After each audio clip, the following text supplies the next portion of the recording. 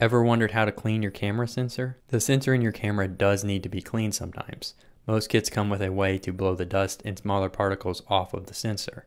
Hold the camera down and shake it gently to get the dust loose. Then you can simply wipe or brush away any oil that remains.